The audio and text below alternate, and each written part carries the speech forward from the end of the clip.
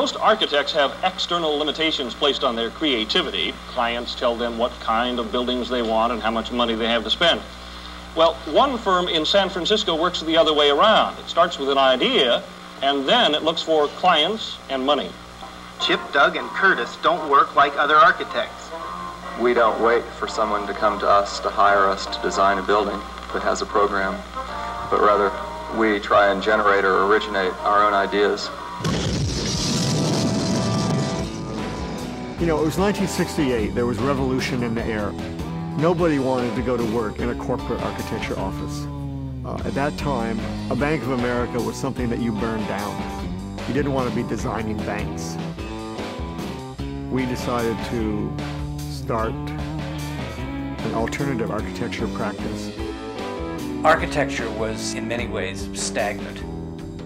This was the point at which the critique of modernist architecture and in its own reductive, universalizing social project was being made vigorously.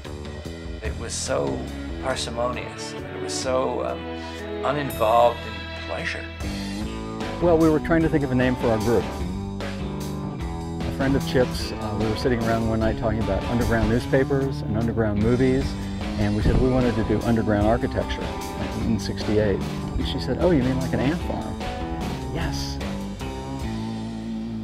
It was a perfect metaphor for how they saw themselves as architects, little ants in this little plastic structure.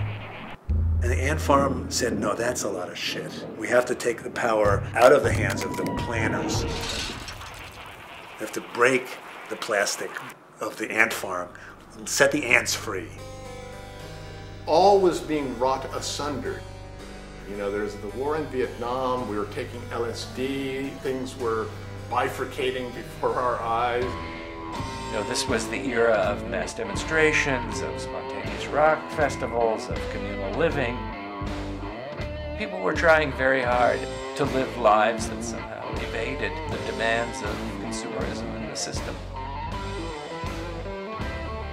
Subversive, irresponsible, unreliable, cock your snoot, fuck you, alternative style of practice, they fertilized the possibility of overturning old habits, you know, which is something that every generation needs to have the ability to do. They were prophets.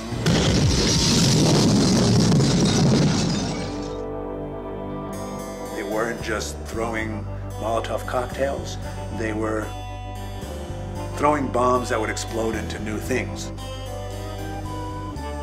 when you look at the targets that they're addressing, not only the oil crisis, but car culture in America, the presidency, um, the uh, Zapruder film.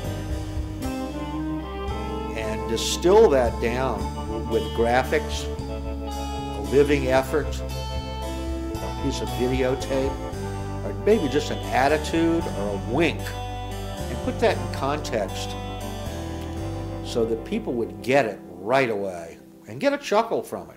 They were comedians, and I, I mean this as, a, as the highest form of compliment. Insisting on no dividing line or visible dividing line between when they were serious and when they were absolute tricksters.